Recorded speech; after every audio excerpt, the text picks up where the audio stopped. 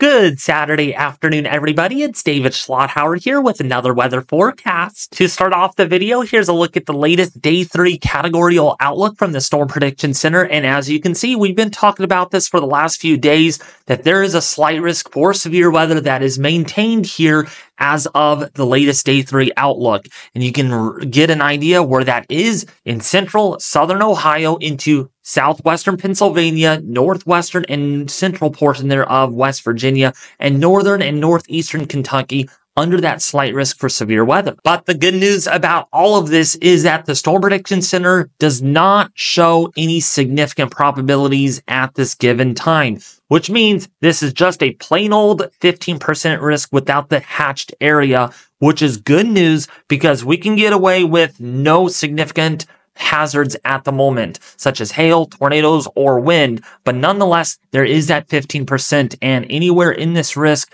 there is always a risk for tornadoes, wind and hail impacts. Now, beyond the day three period, there is not much going on as far as any severe weather events goes, but I'm warning you right now, beyond the 19th and the 20th of April, and I've been talking about this over the last few days, that there is going to be a huge uptick in severe weather by the last full week of April into early May.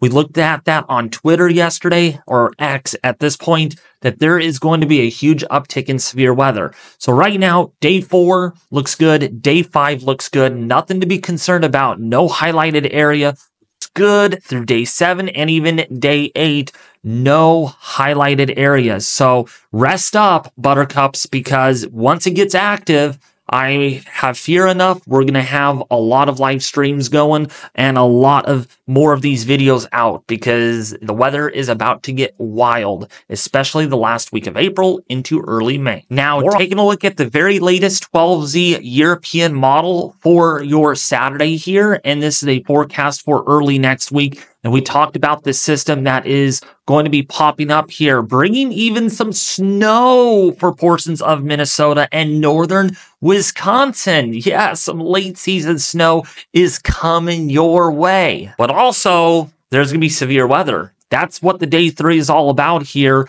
on the SPC is because of this little guy that is going to be moving out of Canada, moving into the Great Lakes and into the Northeast.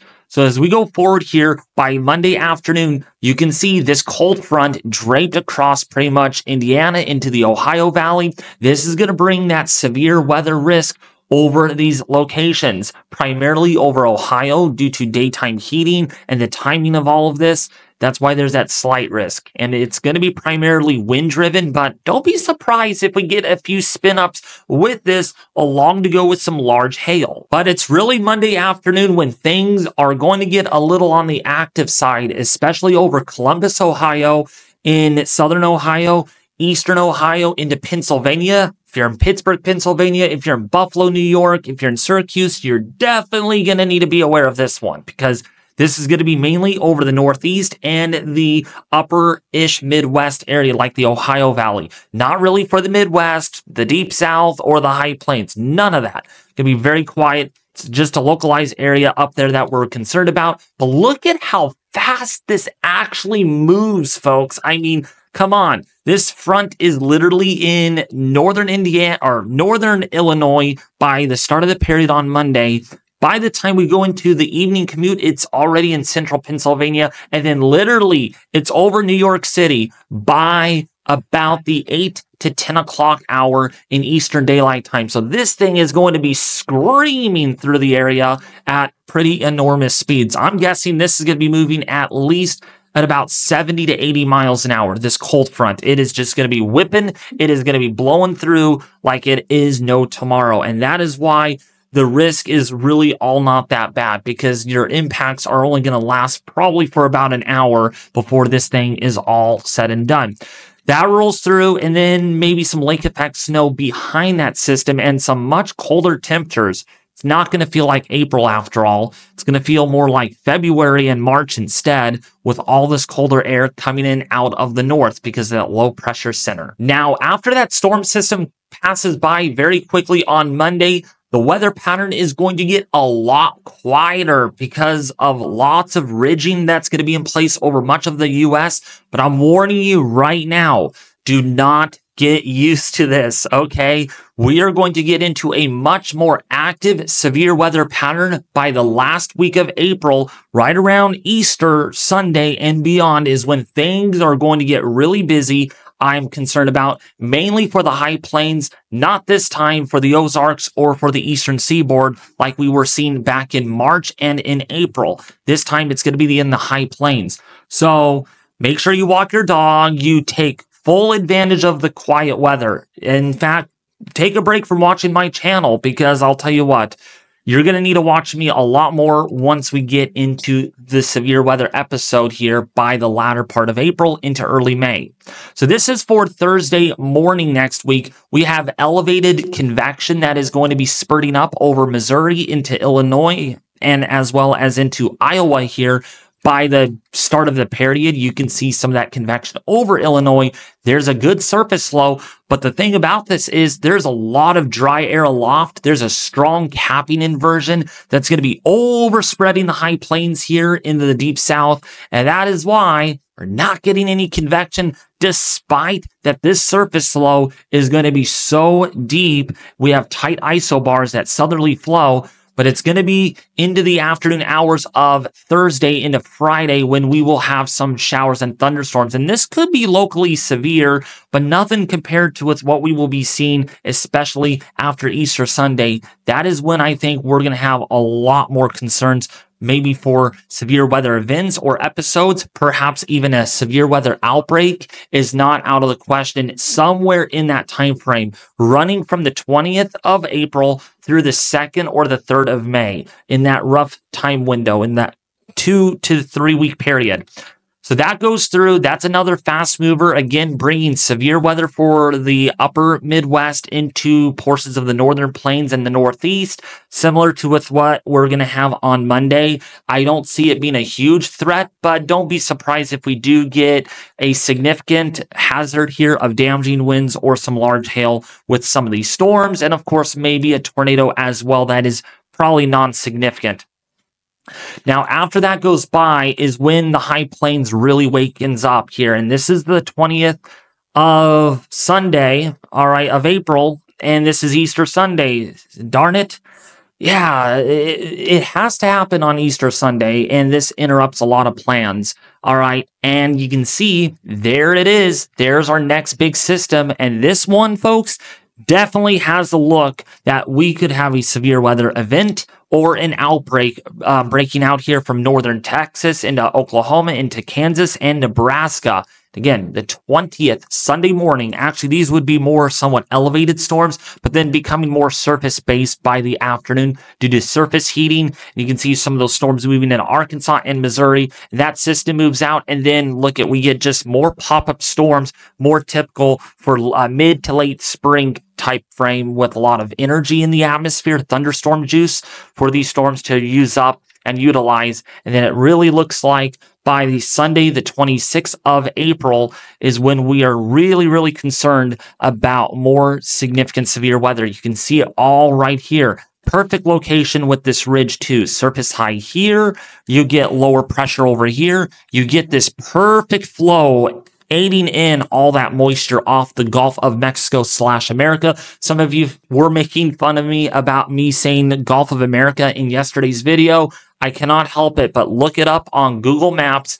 Literally on Google Maps, hover over the Gulf of America. You'll see its name, Gulf of America. It is literally a thing, folks. And boy, I did not know it has 4.5 star rating because of the name change and it has 6,916 reviews. It's not just on deterministic models from the Euro that are showing this. It's also on the ensembles showing a big signal for severe weather episodes by the last half of April into early May. We talked about that already. So there's a cutoff low moving into California that's going to bring us some showers maybe by the middle of next week. We have another trough that's coming down out of Canada. There's going to be a phase up pattern that's going to show up here. These two troughs are going to merge into one, and this is going to get ejected into the plains while this one amplifies and moves southward. So you can see players on the field here really showing up by the weekend of the 19th of April and the 20th, Easter Sunday, showing us that there is going to be this southwesterly flow that is going to be invecting moisture in off the Gulf of America. Can't help it to say that all the time. Should just say the Gulf, right? And then by Monday, the 21st and the 22nd, you can see there's a trough over the western half of the United States. You can see the height anomalies ridge over here. There's a lot of X posts. Okay. If you follow X very well, you'll see them all over the place, literally oversaturating that. Oh, there's going to be this severe weather event coming up. I do see that happening, but to what extent remains to be um, certain because there's signals telling us that, yeah, the pattern's going to wake up by the last week of April into early May. And it's even being indicated here on the chances of 500 joules per kilogram of thunderstorm juice, convective allowing potential energy. How much energy will these thunderstorms give off uh, when they blow up in the atmosphere, right? So 500 joules per kilogram on an ensemble is pretty decent. That means there's a pretty good chance that we have enough instability for showers and thunderstorms here in Texas, Oklahoma, into far northern portion of Kansas into Missouri, as well as even portions of Tennessee, but most likely right here in the high plains is where we're looking at it, right in about here. This whole circled area, even up here, perhaps we could see some active or activity. Now, going forward, this continues to be a thing. Look at doesn't really back off a whole lot through the rest of the forecast, which means we are going to have to start watching the SPC very closely. I will be making my own outlooks for the Discord server. So if you all want to check out the WeatherForce Discord server, there's a link in the description below this video where you can go check that out. But anyways, if you found this video really helpful, detailed, and informative, Please don't forget to subscribe to the YouTube channel, hit that bell notification icon, hit the like button, and share this video with your family and friends on social media. As always, I do enjoy making these videos, folks, and I am considering going live tonight for uh, for Saturday Night Live. It's a tradition on the channel now that once a week we try to do that play some games, interact with you all. So if you're interested in um, tuning in tonight, um, please let me know in the comment section below this video as well. But otherwise, I will be back with you more on Monday, maybe going live on that Monday's severe weather threat. Just depends because this is going to be moving awfully fast over the Ohio Valley. But if not, I will have a video out for sure and something on Monday.